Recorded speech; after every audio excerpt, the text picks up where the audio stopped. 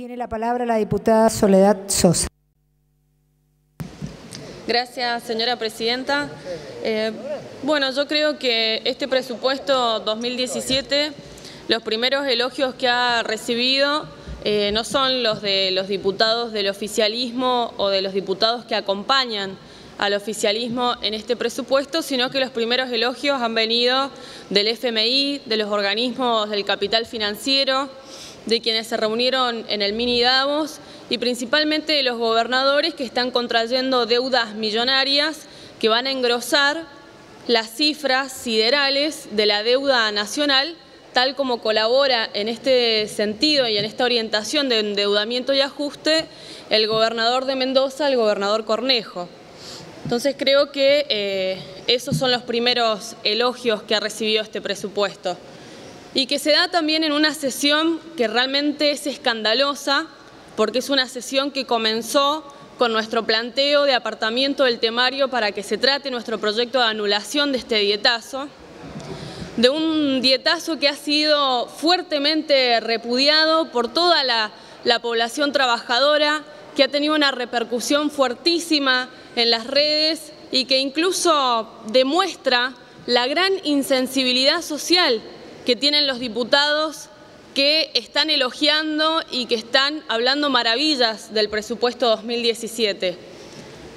Hasta el propio presidente salió a pronunciarse sobre el dietazo y a decir de que los diputados debieran hacer el mismo esfuerzo que el conjunto de la población trabajadora, no, perdón, de la población, porque nunca habla de los trabajadores, a esos son a los que despide, y pidió a los diputados no pasarse, bueno, se olvidó de comentárselo a los diputados de su bloque y se olvidó de comentárselo a los diputados que acompañaron con el voto negativo para habilitar en nuestro proyecto que plantea la anulación de este dietazo. El presidente, y aquí es el presupuesto del 2017, también se ha olvidado de una de las demandas sociales más sensibles que viene del conjunto de las mujeres que se están movilizando eh, de manera masiva en el país y el presupuesto, o mejor dicho, el plan que anunció el, presidente Macri junto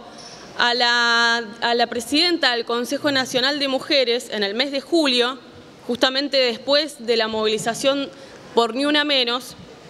que hablaba de destinar 750 millones de pesos para la creación de 36 casas refugio en todo el país, que la verdad no sabemos bajo qué estadísticas es que considera este gobierno nacional que es necesario crear 36 casas refugio, que la verdad a nosotros nos parece realmente insuficiente, y presentamos un pedido de informes ante ese plan que anunció el presidente y el Consejo Nacional de Mujeres, y ese proyecto, ese pedido de informe está durmiendo, está cajoneado en la Comisión de Familia.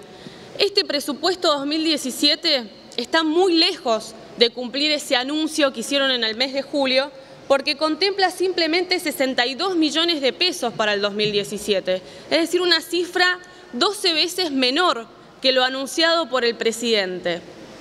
En la ciudad de La Plata se construyó hace poco una casa refugio para 70 personas con condiciones eh, de aire acondicionado, calefacción, habitaciones con baños propios, salas de, de juego para los niños, personal eh, sistemas de protección y costó 25 millones de pesos. Obviamente que no se puso el gobierno de eh, la señora Vidal, sino que acudieron a los fondos de los empresarios y de la iglesia, cosa que nos parece que no corresponde y que tiene que haber una responsabilidad estatal. 36 casas refugio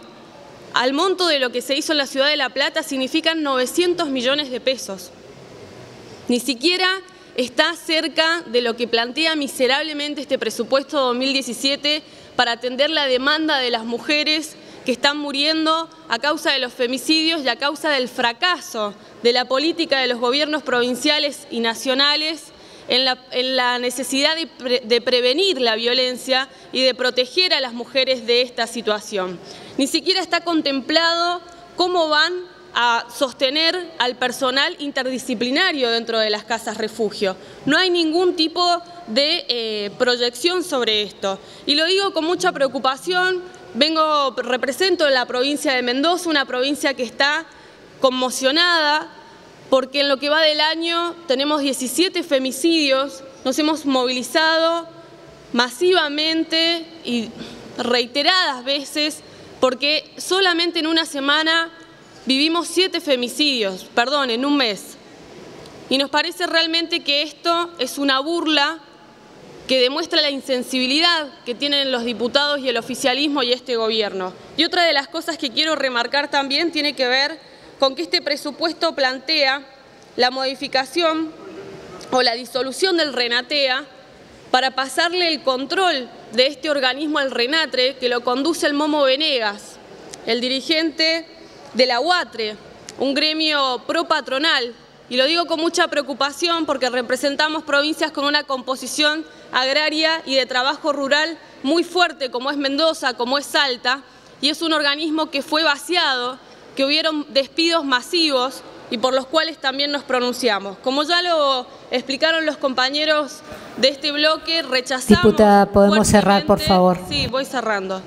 Rechazamos fuertemente este presupuesto del ajuste, del endeudamiento y que fortalece la violencia sobre las mujeres porque no le está dando las mínimas garantías para solventar las condiciones materiales para sacarlas de la situación de violencia. Muchas gracias. Gracias, diputada Sosa.